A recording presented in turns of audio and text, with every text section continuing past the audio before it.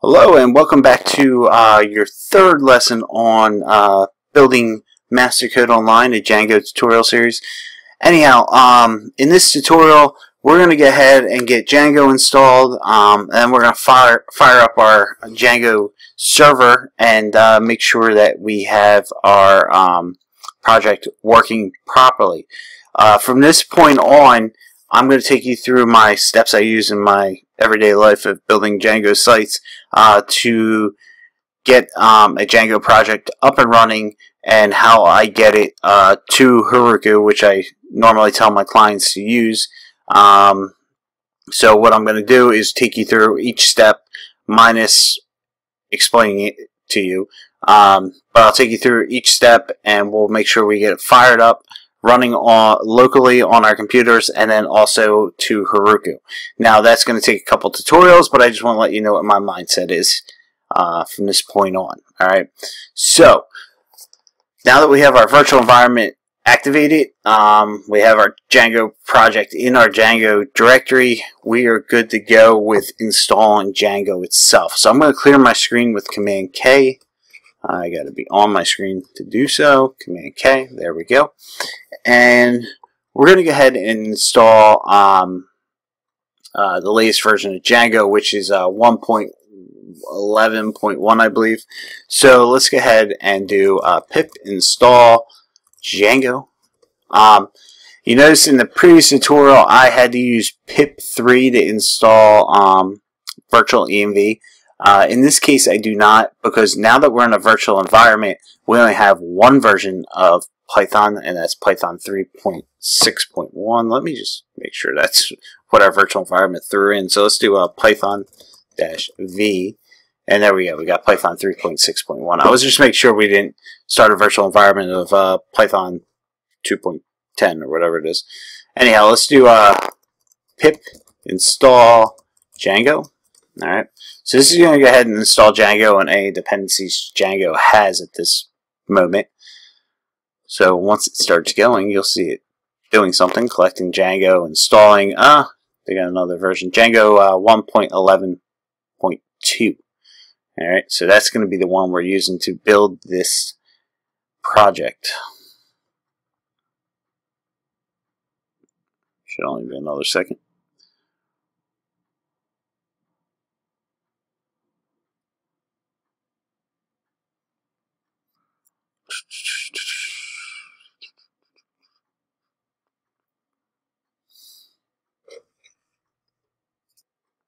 Alright, now we successfully installed Django 1.11.2.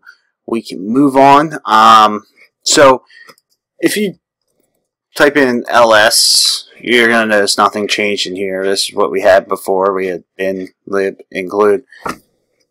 Alright, so I don't remember where, where I was. My wife came in uh, to the room here, but um, Alright, so I was talking about, I think you don't see Django in here. It's because Django is uh, actually thrown into the sites packages in the um, Python installation itself, which is in the include, I believe, if I remember correctly.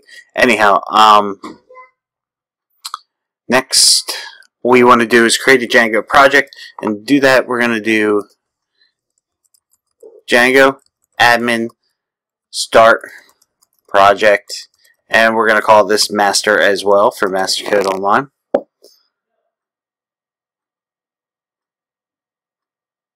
And if we list out now, you're going to see master is in here. Now this is our Django project itself. Now if you have a um, text editor installed on your machine, we can go ahead and open one of these up.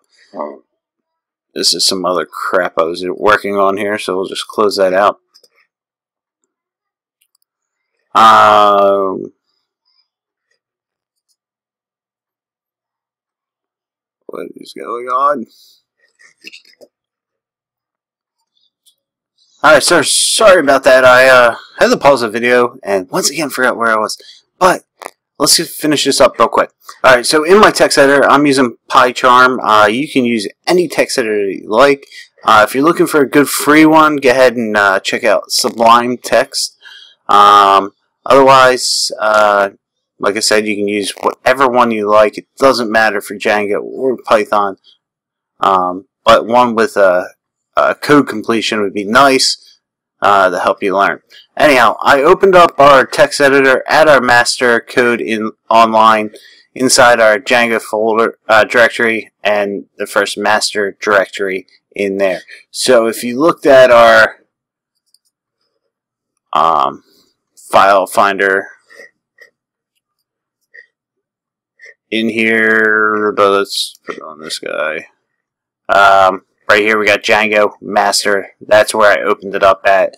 Uh, so I see bin include lib and master. Um, we 99% of the time do not touch bin, include, or lib, but I like to open up there just so I know where I'm starting at every time. Alright, so this is our Django project right in here in this uh, second master directory.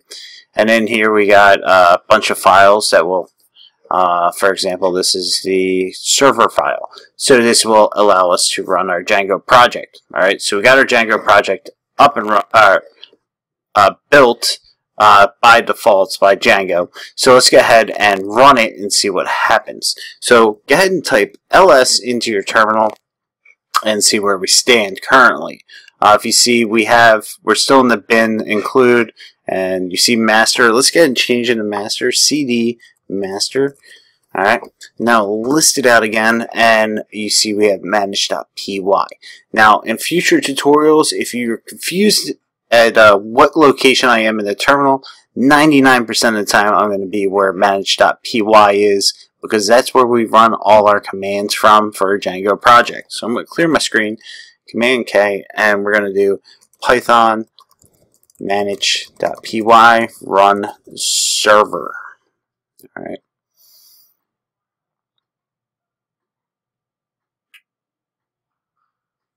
So once I get a return here that something's actually happening. Alright, so um, right here we ran python manage.py run server. Uh, performed a bunch of system checks. That's something Django does every time when it runs the server. You notice it says system check identified no issues. But we do have a uh, message here. It says 13 unapplied migrations. Um, basically, migrations have to do with the database. We do not need to run that right at this moment. But what I'm trying to do here is check out that um, when we open a browser and we put this URL right here into that browser, we get a nice welcome message. Welcome to Django. So let's go ahead and check that out. Where python.org was, go ahead and uh, put in the URL, press return, and this should open up a nice welcome to Django message. It worked. Congratulations. Your Django Power page is complete, uh, built. Um, so it tells you the next thing to do is uh, go start uh, your first app by running python manage.py start. We are not going to do that right away because what we're going to do next tutorial is we're going to actually go ahead and configure our uh, Django project to run on um, Heroku, and that's the server we're going to use for our project. So um, there's some dependencies and uh, settings that need to be set properly. I'm going to walk you through that, and once we've walked through that, you'll be able to run any Django project on Heroku. So I'll see you in the next tutorial. Have a nice day.